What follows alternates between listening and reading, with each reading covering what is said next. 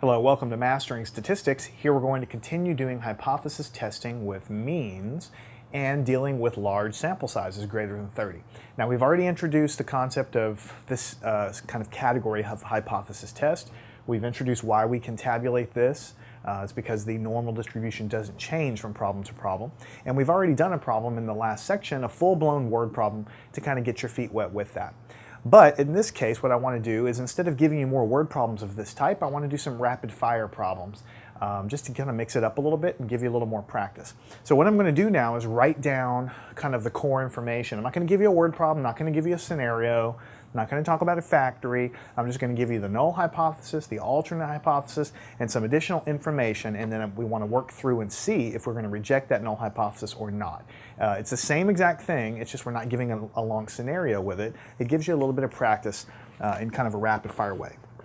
So this is given to you in the problem. You're given that the null hypothesis is that the mean of whatever it is we're studying is greater than or equal to 409. This could be whatever we want. It could be the length of, of Lincoln logs, could be the volume of basketballs, it could be anything. So this is the null hypothesis. And the alternate hypothesis is that this mean is less than 409. All right, so this is the status quo. This is what we're really trying to test. Additionally, in the problem, uh, we are given that alpha, the uh, alpha parameter that we use here, the level of significance, is 0.05. 0.05. And then we're also given that the sample data gives or yields that the uh, uh, test statistic is negative 1.87. So what we need to do is use this information to figure out are we going to reject this null hypothesis or fail to reject this null hypothesis.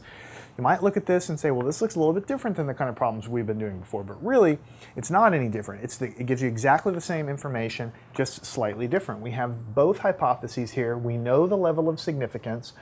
Uh, and in this case, it's telling us the sample data gives us a value of z. This is basically calculating the test statistic ahead of time. Instead of me telling you what the sample, number of samples, sample mean, sample standard deviation, if you see a problem like this where it's giving you some value of z from the sample data, that's just telling you that that work has been done for you. You've already calculated the test statistic. Uh, and so all you need to do is put the ingredients together and figure out what you have. All right.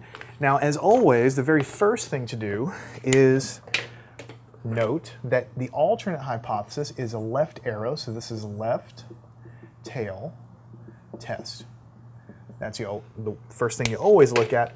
And then we want to always draw a picture. So let's go and draw ourselves a picture. And this is going to be a